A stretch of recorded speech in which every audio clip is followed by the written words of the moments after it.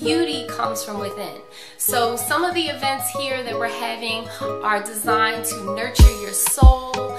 We want to uplift your spirit and really your whole person just bring you to the next level and help you transform yourself on your natural hair journey. So we had Yara here over the weekend from Juice Capitol and she was sharing with us the power of juicing and how incorporating fresh squeezed juices into your diet can help with your skin and your hair. You can actually heal your body. That's that's one of my favorites. Um, and that's just your red. That's your red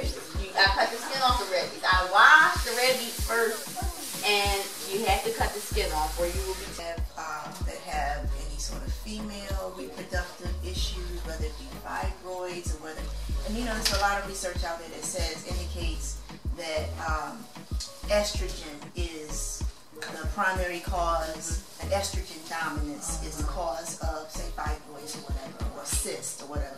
So it was interesting to me because there are some fruits that they're saying, or vegetables, because they have um, um, hormones? Certain fruits and vegetables in the United States, they're GMO because bananas where I'm from in South America don't look like the bananas here. Right. So they don't want you to have the bananas. At least the herbalists that I'm around. Right. The Chiquita bananas are usually better to use. Right, right. So just to make a long story short, I would say for you, especially if you're someone who is hormonal, trying to stick to the most organic fruits that you can use. The ones that are not GMO, things that do have seeds, things that are like extremely large, because that can really have a role as far as like balancing your testosterone hormones. So it's not necessarily that the watermelon. No, it's not. No, no man so I would definitely want to stick with organic. Yeah, with seeds. Black seeds. seeds. Not only the little white ones that you can't see. That's right, right. so watermelons oh, are very good for you. Yes, it is. It's just the type okay. And, whatever and I juice, the, I juice the seeds. yeah, the, juice, the, the, the, the seeds exactly. out. The juice, sometimes you get a couple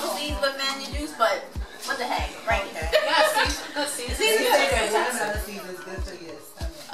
You may not even know is going on with your body. So she was sharing us a lot of really important information about the power of juicing and fasting. And we offered the workshop for free here for the community and our customers. And we had some really yummy juice over the weekend. So I'd love for y'all to check out our website and see what events are coming by. Feel free to stop by because we always have things going on. And we have our yoga sanctuary upstairs now. So we're offering even even more to help you on your journey to loving yourself. And I just wanted to let y'all know how important it is to us that you are here with us on this journey.